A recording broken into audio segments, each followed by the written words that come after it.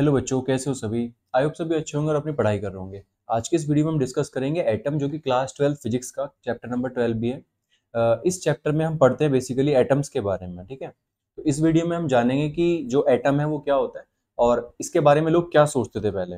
Basically हम इस chapter में जो हम फ़र्स्ट पार्ट वीडियो में पढ़ने वाले हैं, वो पढ़ने वाले हैं एल्फा पार्टिकल स्केटिंग एक्सपेरिमेंट जिससे ये प्रूफ हो गया कि एटम जो है स्ट्रक्चर वाइज कैसा है, दिखने में बाहर से कैसा है और यस उसके सेंटर पे क्या होता है। तो भाई बेसिक चीज़ें हम इसमें जानने की कोशिश करेंगे। आप अगर इस वीडियो में पहली बार देख रहे हैं तो भाई वीडियो को जो है लाइक कर देना, चैनल सब्सक्राइब कर देना और आगे और भी वीडियोस ऐसी अपलोड होती रहेंगी तो शेयर कर देना सभी दोस्तों में।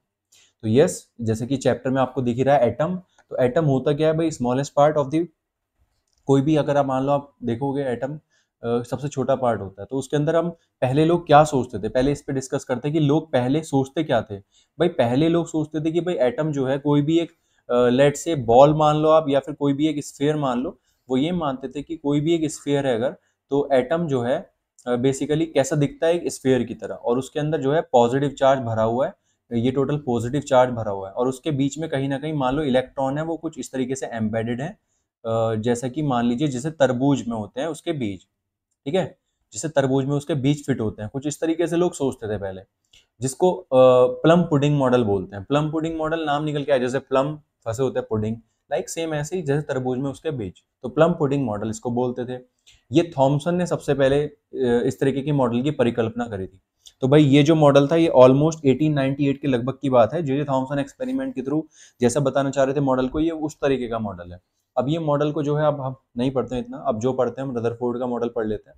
बोर का भी मॉडल पढ़ते हैं थोड़ा बोर में भी ये बताने की कोशिश की गई है कि स्पेक्ट्रम बनता है और क्या क्या कहते हैं उसको ऑर्बिट्स बनता है अलग अलग तो यस थॉमसन मॉडल ने इस तरीके की कोई परिकल्पना करी थी, इसमें उन्होंने बोला था कि एटम जो है, एक पॉजिटिव चार्ज स्फीयर है और उसके बीच में अलग अलग अलग अलग जो है इलेक्ट्रॉन बसे हुए हैं, जैसे कि एक तरबूज में उसके बीच तो एस इस तरीके के मॉडल में क्या दिक्कत आई? फिर क्यों इसको एक्सेप्ट नहीं किया? तो इसको एक्सेप्ट इसलिए नहीं किया क्योंकि भाई ये जो है हाइड्रोजन स्पेक्ट्रम के ठीक से सीरीज़ को क्लियर नहीं कर पाया। जैसे स्पेक्ट्रम होता है, जैसे प्रिज्म में कलर पास करते हैं हम, कोई भी लाइट पास करते हैं व्हाइट लाइट तो सेवन कलर का एक स्पेक्ट्रम बनता है।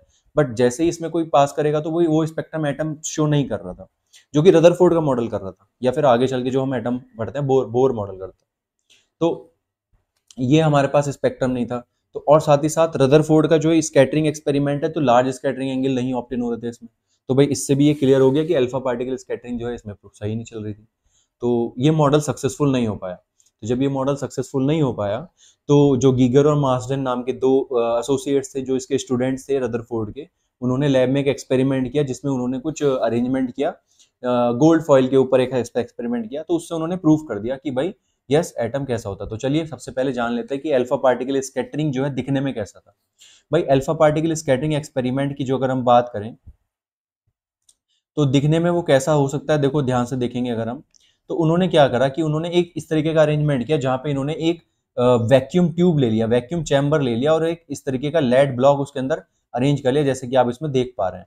इस लेड ब्लॉक के अंदर उन्होंने एक अल्फ़ा पार्टिकल निकालने के लिए एक छोटा सा कोई भी रेडियो एक्टिव मटेरियल ले लिया, जिसमें से अल्फ़ा पार्टिकल रिलीज़ होता है। ये अल्फ़ा पार्टिकल मतलब हीलियम का न्यूक्लियस होता है बेसिकली तो ये है क्या? देखो, इसमें एक लेड ब्लॉक के अंदर ताकि बाकी एब्जॉर्ब कर ले और सीधा जाने दे, और साथ में एक कॉलीमीटर लगाया हुआ है, जो बीम बना के उसको सीधा भेज सकता है गोल्ड फॉइल पे। ये आपको जो पतला सा दिख रहा होगा, ये गोल्ड फॉइल है, बहुत ही पतली पन्नी होती है। एम एम से भी काफ़ी कम। समझ लो एम एम का तो बहुत कम। इस तरीके का उन्होंने मॉडल जो है तैयार किया अल्फ़ा पार्टिकल स्कैटरिंग के लिए, जिसमें उन लोगों ने गोल्ड की फॉइल ले ली। गोल्ड की फॉइल क्या होती है कि वो बहुत मेलेबल होती है, वो बहुत पतली शीट में कन्वर्ट करी जा सकती है। तो इसलिए उन्होंने गोल्ड की फॉइल ले ली और जो almost two point one ten to the power ये जो गोल्ड फॉइल है two point one ten to the power minus seven ten to the power minus seven metre के आसपास की जो गोल्ड फॉइल इन्होंने ली थी तो ये एक्सपेरिमेंट के लिए जब गोल्ड फॉइल ली तो ऑलमोस्ट इससे क्या हुआ कि जो अल्फ़ा पार्टिकल थे, वो इसके एटम पे ही जाके स्ट्राइक कर गए। तो एटम पे स्ट्राइक कर गए तो हम अगर देखें ध्यान से तो हमें कुछ, अगर हम यहाँ पे एक स्क्रीन लगा दें इस टाइप की स्क्रीन ऑप्टेन करने के लिए तो भाई हम देख पा रहे होंगे कि कुछ जो हमारे पास पार्टिकल्स हैं, जो सीधे निकल जा रहे हैं। भाई अल्फ़ा पार्टिकल अगर आएँगे सोर्स में सोर्स के थ्रू तो कुछ तो बिल्कुल सीधे ही निकल जाएँगे। इस तरीके से इन्होंने एक बोला कि भाई बहुत सारा स्पेस फ्री है, वो सीधे निकल गया एटम पे कोई फ़र्क ही नहीं पड़ा। उसके अलावा इन्होंने एक बात बोली कि वो कुछ कुछ ऐसे भी थे अल्फ़ा पार्टिकल्स जो कुछ एंगल पे स्कैटर हो गए। जैसे कि आप देख पा रहे हो, कुछ एंगल अल्फ़ा बन, यहाँ पे थीटा एंगल आपको दिख पा रहा होगा। इस थीटा एंगल से जो है उन्होंने एक माइक्रोस्कोप लगा दिया और उसको जिंक सल्फाइड की स्क्रीन पे डाल के ये चेक कर लिया कि वो ग्लो कर रही है कि नहीं कर रही है। स्पार्क हो रही है कि नहीं हो रही है। स्पार्क हुई तो उससे उन्होंने आइडिया लगा लिया कि भाई यहाँ पे जो है एक अल्फ़ा पार्टिकल स्ट्राइक किया है। इसको उन्होंने वैक्यूम चैम्बर में ही रखा और ताकि इसमें कोई डस्ट पार्टिकल ना टकरा जाए। डस्ट पार्टिकल या एयर पार्टिकल से रिएक्ट करेगा मतलब टकराएगा तो उससे उसका रास्ता चेंज हो सकता था। तो माइक्रोस्कोप लगा के हमने इसको चेक कर लिया और पता लगा लिया कि जो स्कैटर्ड अल्फ़ा पार्टिकल है, वो दिखने में कैसा लगा कि टकराया कि नहीं टकराया। कुछ ऐसे भी अल्फ़ा पार्टिकल थे जो अपने रास्ते सेम वापस लौटे। जैसे आप मैग्नेट पे कोई अगर सीधे स्ट्राइक करोगे तो वो वापस रिपेल भी कर देती है। सेम ऐसी अल्फ़ा न्यूक्लियस जो हमारा अल्फ़ा जो पार्टिकल है, वो हमारा जाके टकराया। गोल्ड के एटम से और जाके उसी रास्ते वापस लौट गया। तो इस तरीके से गोल्ड के न्यूक्लियस के पास से वापस लौटना मतलब पूरा का पूरा रिटर्न 180 डिग्री तो इस तरीके के उसने कुछ एक्सपेरिमेंट्स के थ्रू बताने की कोशिश की है। तो ऑब्जर्वेशन को अगर ध्यान से देखो तो कुछ इस टाइप के हमारे पास अरेंजमेंट्स थे और प्रैक्टिकली उसने इसको प्रूव किया गीगल और मार्सडन जो दो साइंटिस्ट हैं हमारे। ठीक है? उन्हीं के नाम पे इसको जो है बोलते हैं भाई, ठीक है? तो अल्फ़ा पार्टिकल स्कैटिंग एक्सपेरिमेंट हमारा इस तरीके से जो उन्होंने देखा। तो यहाँ पे कुछ ऑब्जर्वेशन है इसके सिग्निफिकेंस है, उनके बारे में पढ़ लेते हैं। कुछ यहाँ पे साइड में आपको एक ग्राफ दिखाई दे रहा होगा। उन्होंने ये देखा कि भाई बहुत सारे जो हमारे स्कैटरिंग एंगल जो ज़्यादा जो है 160 के आसपास तक बहुत कम ही थे। बाकी ज़्यादातर जो है वो कम एंगल पे रिटर्न हो गए। मतलब कम, बहुत कम डेविएट हुए, सीधे निकल गए। तो सीधे निकल गए मतलब इसके बीच में बहुत सारा स्पेस ऐसा है, उन्होंने ऑब्ज़र्व किया कि एटम के आसपास का स्पेस ही बहुत सारा खाली है। बस एटम के बीच में जो है एक न्यूक्लियस रखा हुआ, बाकी सारा स्पेस एटम का फ्री है। तो ये आज के मॉडल की परिकल्पना है भाई एटम का जो है स्ट्रक्चर कैसा होता है। ये रदर के थे, जो शिष्य, जो हम उसके बोल सकते हैं, उसके जो विद्यार्थी थे। तो रदर के नाम पे मॉडल जाता है रदर का एटॉमिक मॉडल एटॉमिक स्ट्रक्चर तो हम इसके बारे में अगर पढ़े तो लार्ज स्कैटरिंग एंगल के लिए ग्राफ अगर आप यहाँ से देखें तो ग्राफ आपको क्या बता रहा है? चलिए पढ़ लेते हैं कि ग्राफ से आपको क्या पता लग रहा है भाई, इनमें हम अगर ध्यान से देखें तो आठ हज़ार में से कोई सा एक ही ऐसा था जो 90 डिग्री पे रिटर्न हो रहा था। भाई, अगर इसको हम ध्यान से देखें नेक्स्ट स्लाइड में तो अगर हम बात करें इनमें तो सबसे पहले जो ऑब्जर्वेशन थे इस ग्राफ के, वो कुछ इस तरीके से, जैसे मान लीजिए गोल्ड का न्यूक्लियस है तो आप देख पा रहे होंगे जो अल्फ़ा पार्टिकल आ रहे हैं यहाँ पे अलग अलग ये कुछ तो सीधे ही निकल जा रहे हैं, ठीक है? जो सीधे निकल जा रहे हैं वो काफ़ी दूर है न्यूक्लियस से। तो मतलब उसने बोला कि एटम के आसपास जो है मतलब एटम में जो है बहुत सारा स्पेस है खाली। बीच में रखा हुआ न्यूक्लियस और उसके आसपास का ज़्यादातर स्पेस जो है ब्लैंक है। उसमें कोई जगह ही नहीं है ऐसी, ठीक है?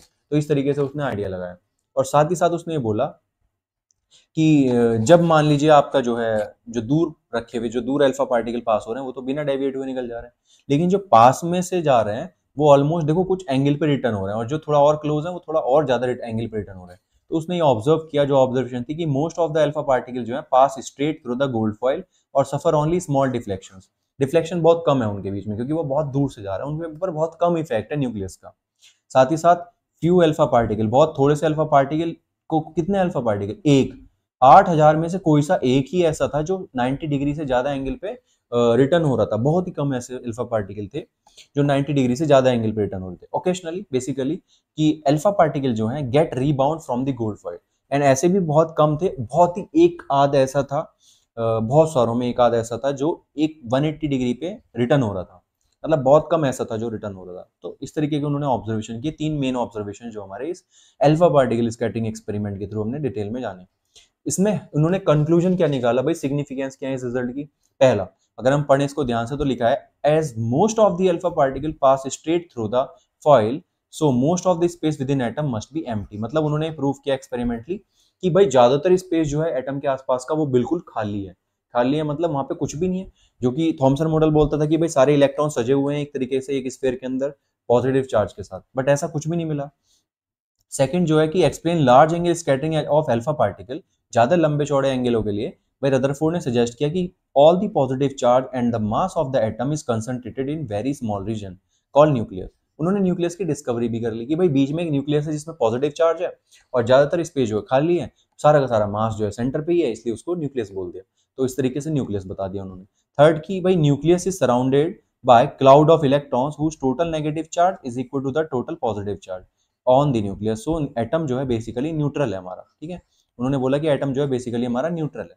तो उन्होंने ये बोल दिया कि जितना टोटल पॉजिटिव चार्ज न्यूक्लियस के ऊपर है, उतना ही सारा मिला के जो इलेक्ट्रॉन है उनके ऊपर भी है। भाई ओवरऑल जो न्यूक्लियस है हमारा ओवरऑल जो एटम है वो न्यूट्रल है ज़ीरो उस पर चार्ज ये कुछ इस तरीके के सिग्निफिकेंस रिज़ल्ट के रहे. नेक्स्ट उसने बोला कि भाई रदरफोर्ड मॉडल क्या है एटम का तो क्या एक्सप्लेनेशन क्या निकल के आती है? भाई, किस तरीके से उसने एक्सप्लेन किया उसको? तो वो एक्सप्लेन किया कुछ इस तरीके से. An atom consist of small and massive central code जैसे कि न्यूक्लियस के बारे में बात की जा रही है which is entirely positive entirely मतलब उसके ऊपर सिर्फ़ पॉजिटिव चार्ज आता है.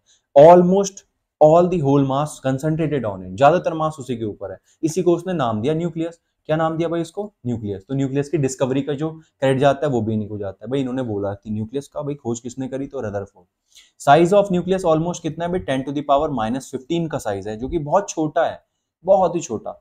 क्योंकि एटम का जो साइज़ होता है वो ten to the power minus ten होता है मतलब one upon ten one zero zero zero ऐसे टेन ज़ीरो तो ये वन अपॉन वन टेन की पावर फिफ्टीन यानी फिफ्टीन ज़ीरो तो इस तरीके से साइज़ ऑफ़ न्यूक्लियस ऑलमोस्ट जो है हमारा टेन की पावर फाइव लेस हो गया। टेन की मीन्स हम उसको वन लैख टाइम छोटा मान सकते हैं। वन लैख टाइम मतलब इतना छोटा कि आप उसे इमेजिन भी नहीं कर सकते नेक्स्ट न्यूक्लियस जो हमारे पास है nucleus is surrounded by suitable number of electrons. Electron से घिरा हुआ है, जिसका टोटल नेगेटिव चार्ज इक्वल है टोटल ये हम डिस्कस कर चुके हैं। होल जो है हमारा एटम जो हमारा है, पूरा neutral next electron revolve around nucleus in various orbits जैसे कि प्लेनेट रिवॉल्व करते हैं सन के। वैसे इसने बोला कि एटम के अराउंड भी, जो न्यूक्लियस के अराउंड है एटम के अंदर इलेक्ट्रॉन रिवॉल्व करते रहते हैं और सेंट्रीपिटल फोर्स जो है रिक्वायर्ड करता है। उनको रिवॉल्यूशन कराने के लिए, जो कि इलेक्ट्रोस्टेटिक फोर्स से जुड़े हुए हैं, ठीक है? इलेक्ट्रॉन न्यूक्लियस के बीच में एक इलेक्ट्रोस्टेटिक फोर्स काम कर रहा है, जो उनको दूर नहीं जाने दे रहा, चिपका के रखता है एटम के विद इन बाउंड्रीज तो ये हमारा रदरफोर्ड मॉडल ऑफ़ एटम है, इसी के बारे में हम इसमें पढ़ रहे हैं। लिमिटेशंस कुछ लिमिटेशंस भी पढ़ लेते हैं, भाई। लिमिटेशन का मतलब है कि इससे ज़्यादा ये एक्सप्लेन नहीं कर पाया। कैसे? भाई इलेक्ट्रोमैग्नेटिक थ्योरी जो है फ़र्स्ट पॉइंट अगर हम पढ़े ध्यान से इलेक्ट्रोमैग्नेटिक थ्योरी के अकॉर्डिंग क्या कहती है इलेक्ट्रोमैग्नेटिक थ्योरी कि an accelerated charge particle must radiate some electromagnetic energy and an electron revolving around the nucleus is under continuous acceleration towards the center. It should continuously lose energy and move in orbit of gradually decreasing radii. मतलब electron अगर मान लो move कर रहा है अलग अलग orbits में तो it should decrease its radius जैसे कि आप डायग्राम में देख पा रहे होंगे, ये इलेक्ट्रॉन जो पहले यहाँ था धीरे धीरे मूव कर रहा है सेंटर कोर की तरफ़, जिस कोर को हम बोलते हैं पॉजिटिव चार्ज न्यूक्लियस धीरे धीरे धीरे धीरे नीचे की तरफ़ आ रहा है तो इससे भाई उसकी रेडियस तो चेंज होती जा रही है। बट ये एक्सप्लेन कर रहे थे कि भाई वो फिक्स ऑर्बिट में रिवॉल्व करता रहता करता रहता। है बट ऐसा कुछ पाया नहीं गया।